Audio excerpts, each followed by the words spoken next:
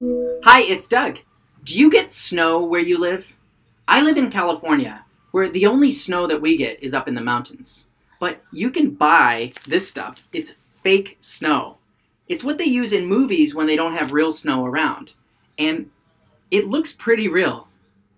Someone named Hudaifa has a question about snow. Let's give him a call now.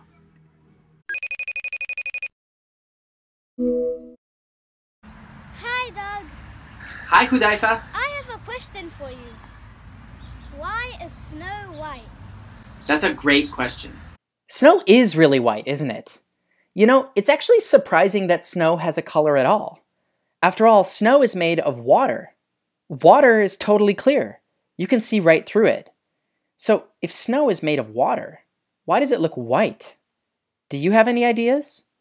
Now would be a good time to pause the video and discuss. Okay, you ready? Well, you might know that each piece of snow, each snowflake, is a tiny piece of ice. Snow is made of water that's frozen. Maybe that has something to do with it. Ice can look white sometimes, right? But ice can also be clear, just like a glass of water. It would be helpful if we could get a closer look at a snowflake. This person is taking a snowflake and putting it under a microscope. That way she can see what it looks like close up. Check it out. Look at that. This is what a snowflake looks like close up. Wow.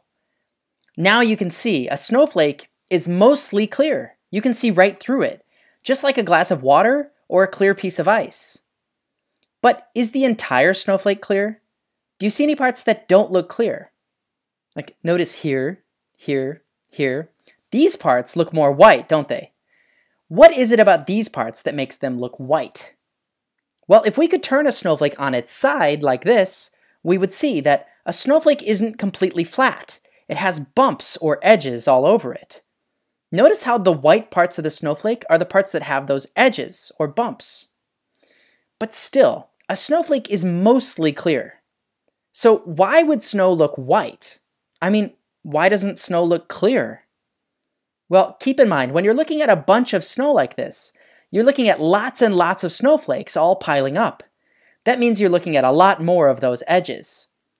We can see the same thing with other clear materials, like this piece of glass. This is a helpful way to think about it. Just like a snowflake, this piece of glass is mostly clear. You can see through it. But notice how some of the edges look white? Well now, watch what happens as we pile up more and more pieces of glass on top of each other, just like snowflakes piling up. I'll speed things up a bit here. You see that? Look, it's starting to look a lot more white. This explains why a single snowflake looks mostly clear, but snow itself, which is made of lots of snowflakes, doesn't look clear anymore. It looks white. But why do the edges of each snowflake look white? Why not some other color? Well, what if I told you that snow isn't always white? Take a look at the snow here. What color would you say it is? It doesn't look white anymore. I would say it looks pink. And that's because you've got the pink light of the sunset shining on it. Or check this out. Here, the snow looks orange from the orange light of these street lamps. The edges of each snowflake aren't always white. It depends on the color of the light that's shining on them. So why is snow white? Where is there white light that's shining on snow? It's right here, the sun. Sunlight is usually white, at least in the middle of the daytime. Now, I know you might think of sunlight as being yellow, like maybe when you draw a picture, you color the sun yellow. But in real life, have a look at this. When the sun is high in the sky during the day, you see it's actually more white than it is yellow. So, in summary, snowflakes are mostly clear, except for their bumps or edges. It's at the edges where it looks more white. When we're looking at snow, we're seeing lots of snowflakes all piled together, so we're seeing all those edges. The reason the edges of each snowflake look white has to do with the color of the sunlight. Sunlight looks white when it's the middle of the day. So snow is white because the sun is white.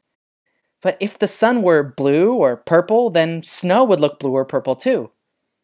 That's all for this week's question. Thanks Hudaifa for asking it.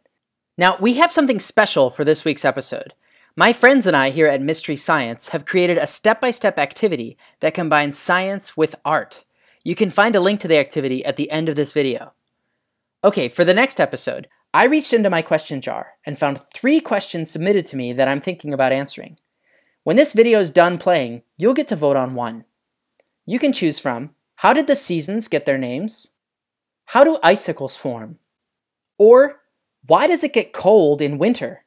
So submit your vote when the video is over. I want to hear from all of you watching. There are mysteries all around us.